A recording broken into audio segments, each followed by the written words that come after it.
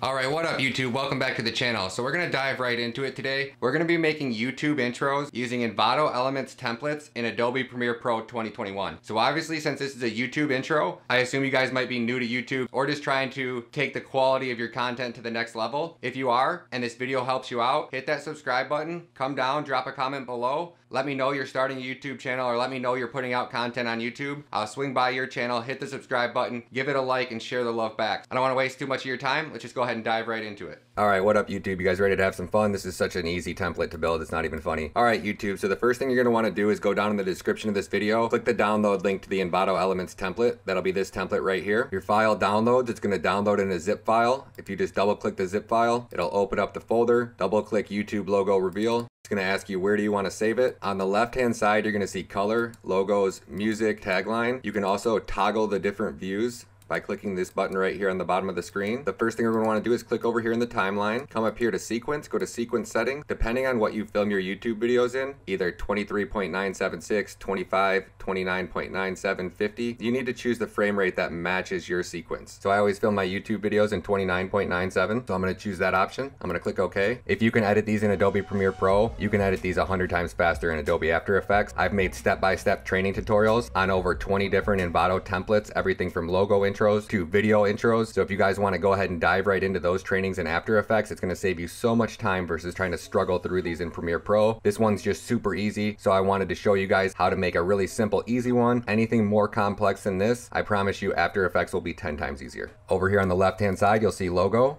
music, and tagline. We're going to double click logo, and we're going to double click tagline. Double click on your channel name, Click back over on the logo tab.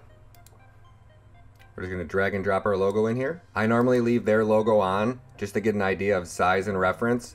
I know that the point of that wasn't down in their text, so I could probably bring my logo down just a little bit. Over here on the left-hand side, these are the positions and the size of your logo, so you can scale it up and down, left to right, up and down. At any time, you can hit Command-Z, Command-Z, Command-Z until you get exactly back to the point you started at. If you go too far, come up here to Edit and do Redo. Now I can go back to my Render tab, and see what my logo is going to look like. I'm happy with the position. They're right dead center of the Ryan Matta. I don't want their logo in there anymore, so I'm to go back over here, select on their logo, press delete on my keyboard, and it's gone. I don't like their music here. I don't need to use this music template. I'm just to drag and drop my music right on in here. So if you guys listen to this play out, there's a beat drop right here. I want to act like my logo is actually bumping into this at the same time that beat drops. So I'm to come over here, and I'm to drag my music way over to the right, just so it deletes it right there. I'm going to slide this over by clicking on it, sliding it to the left, until it lines perfectly up with the bass drop. Just like that. Now I can drag my audio back to the left. Right now, if I clicked on this audio, I could not drag it to the left because it has nowhere to go. So I had to come over, delete some of it off, slide it over, and then remove my audio back. I'm gonna come right over here at the end of my clip, and I'm gonna press C on my keyboard. It'll bring up my cut tool, and I'm to cut off the end of that audio, press V on my keyboard to bring back up my pointer tool, and delete the audio. Now I'm going to press P on my keyboard for my pen tool. I'm going to come here, I'm going to put a dot there, that's a keyframe, and now I'm just going to drag my audio down. So now my audio is going to fade out right there.